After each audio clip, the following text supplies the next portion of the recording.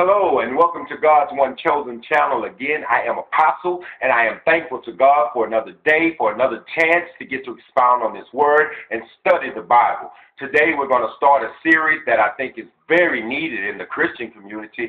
I am a Christian man, I am a married man, and I have friends who are Christian and married. And we did a survey, and the survey came back to us, and the number one temptation that Christian men that were surveyed deal with is the temptation of sex. I believe in this society, we are bombarded with sex no matter what we do. You can be driving down the road and you can look at a billboard and you will see a, a lady in her underwear. I mean, no matter what we do, sex is all around us, so those thoughts are always creeping into our minds, and we are very confused. So the title that we're going to be dealing with in this series is actually Pornography and Christian Men. I have not heard many preachers stand in the pulpit and speak about this, and it, I wonder why, because so many Christian men struggle with this. I think Kirk Franklin, a while back, he admitted it, and a lot of guys didn't begin to come out and talk about it, but it kind of went away. And I think that is of the devil, because the devil wants it to be in secret. The devil makes us think that, okay, because the internet and cable TV, we can watch pornography at home. We don't have to go to Blockbuster and rent a, a DVD and kind of get embarrassed by the lady who's working behind the counter. We can actually sit at our homes, push a button, and pornography is right there in our face. So what we want to do is we want to get some scriptural backing on what we think some questions that the Christian man deals with in the area of pornography. Is it okay? Um, is it a sin? Uh, is it is it considered cheating? And what does it do to your spirit? And why is this especially dangerous for married men? Now, the book that we're going to use in the Bible will be First Corinthians. The Apostle Paul, he spoke to the church of Corinth on a lot of things, but they actually struggle with sexual immorality also. Like a lot of Christians today, they struggle with the same things. But Apostle Paul showed them a way to deal with it. That's why we'll go to Scripture and we'll get scriptural backing. The scripture that we'll be reading from today is actually First Corinthians chapter 5, and we'll start at verse 9 because Apostle Paul is going to show them that you shouldn't even be around people who are sexually immoral. I.e., you shouldn't even be watching people who are sexually immoral. Because if you do, that, that's going to open the avenue into your mind where you're going to begin to fantasize about those things that you're seeing. And your reality is totally different from what you see on TV. They get paid a lot of money to do that. And you go to your wife and you expect her to do these things, and you're going to cause a lot of problems. Trust me. I've been married for 10 years. I know. You have to approach sex with a godly intent because sex was given to a married couple as a gift and it also multiplies the earth. But we'll go ahead and read into scripture. Once again, that was 1 Corinthians chapter 5, verse 9. The Bible says, I have written you in my letter not to associate with sexually immoral people. Not at all meaning the people of this world who are immoral or the greedy and the swindlers or idolaters. In that case, you would have to leave this world. But now I am writing you that you must not associate with anyone who calls himself a brother. That means anyone that goes to the church, that means a preacher, a deacon, or anyone that's in the church that's in Christ that calls himself a brother. But sexually immoral or greedy, an idolater, a slanderer, a drunkard, or a swindler. With such a man do not even eat. What business is this of mine to judge those outside the church? Are you not to judge those inside? God will judge those outside. Expel the wicked man from among you. Now, I've seen a lot of preachers lose their churches based on that scripture. 1 Corinthians chapter 5, verse 9. I've seen a lot because a lot of people, when it says expel the wicked man from among you, because over the years we've seen, I think you can go back if you want to go on a national level, we've seen Jimmy Swaggart, we've seen Jim Bakker, we've seen uh, Jamal Bryant, we've seen uh, lately The Truth, we've seen Ty Tribbett, we've seen a lot of married men who are under the body or under the blood of Christ that have fallen for the temptation of sexual immorality.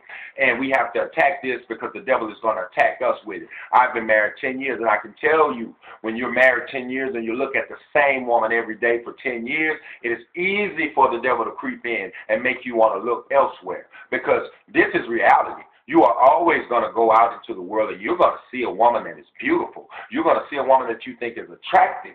There's nothing wrong with seeing a beautiful woman. You can't control who's beautiful or not. But what you can control is if you act on that beauty. Now, God did not tell us to hide inside the house so we may avoid sexual immorality. What God wants to do is He wants to get us to a point where we can be around beautiful women And we can be around attractive ladies, and we're not going to ask them for their phone number. We're not going to try to what we call holler at them because God has put us firm in His Word, and we know that that is of the devil. This is why we do this Bible study. Once again, the title is Pornography in Christian Men, not pornography in the world, pornography in us, because a lot of us are going to church and we're dealing with it, and we're looking at pornography. Kirk Franklin brought it out a few years back, and many Christian men began to speak on it, but it kind of died off people stop talking about it. But I think it's getting bigger and bigger. I saw on television that the pornography industry is a billion dollar a year industry.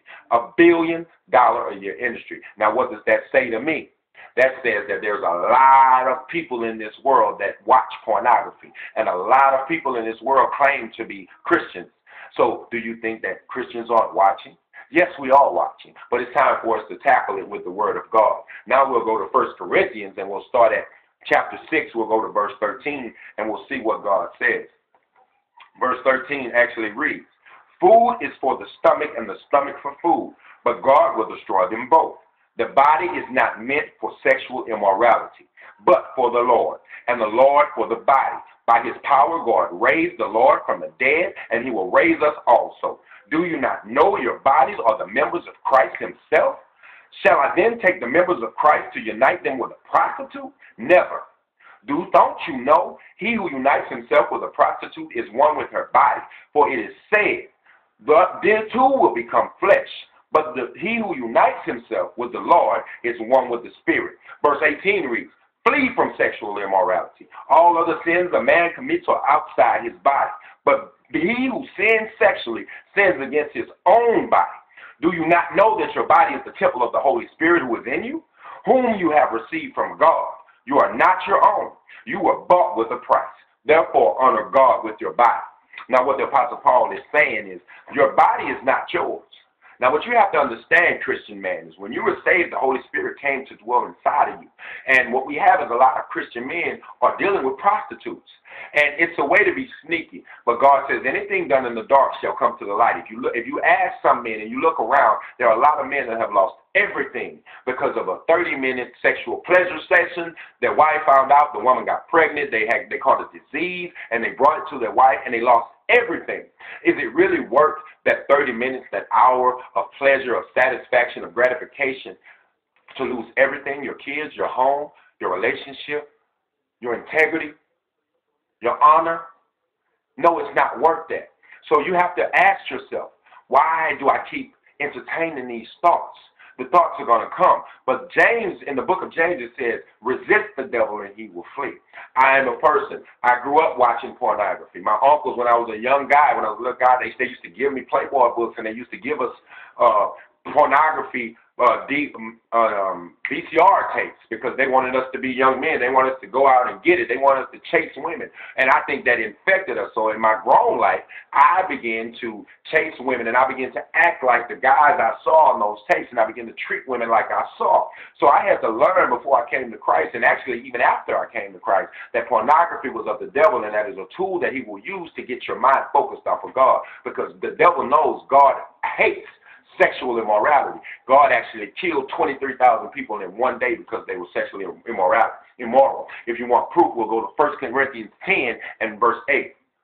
And it'll show you that God killed 28, 23,000 people. But what we're going to do, this is part one. We're going to come back and we're going to expound on this because the title is Pornography and Christian Men. I think the devil is trying to attack the body, and the head of the body is the man under Christ. And I think he's trying to attack us, so we're going to go ahead and head on with the book. We're going to put on the whole armor of God, and this is the sword. So I pray you'll come back. This is only part one of the series. I am Apostle, this is God's One Chosen Channel, and I pray that you have wisdom, knowledge, and understanding in your life.